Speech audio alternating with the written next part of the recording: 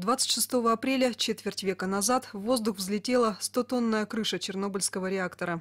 Значит, страшного, конечно, ничего там нет. Это ясно. Этих людей называли биороботами. Солдаты и офицеры работали в непосредственной близости от раскуроченного взрывом реактора Чернобыльской АЭС.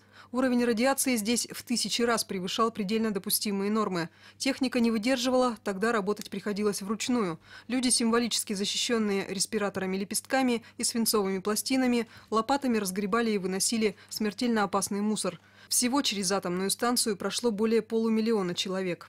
У нас проживал реакторный цех, работники реакторного цеха, администрации станции, дозиметристы. Работали они по 4 вах- часа вахты, бывали по 2 часа вахты. Они приезжали, у нас отдыхали, питались, и после этого снова на объекты.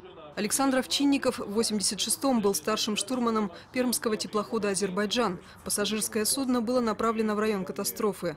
Речники обеспечивали условия проживания для специалистов атомной станции, доставляли необходимые грузы, продукты и чистую воду. Команда пермского теплохода находилась в 30 километрах от АЭС. Почти за три года работы люди получили серьезную дозу облучения. Сам теплоход после обработки даже, когда его обрабатывали и потом перегнали в Севастополь, после ликвидации уже не востребован был. Вот, и то на нем в 4, в 5, 6 крат, в зависимости от мест, превышала доза допустимой радиации. Каждый пятый из моего экипажа, который участвовал в ликвидации аварии, уже похоронен. Более пяти тысяч жителей Прикамья работали в зоне действия атомного вулкана. Многих из них уже нет живых. В этот день о катастрофе вспоминают ветераны-чернобыльцы многих городов России, Украины и Белоруссии. Юлия Зыкова, Александр Хробостов, телевизионная служба новостей.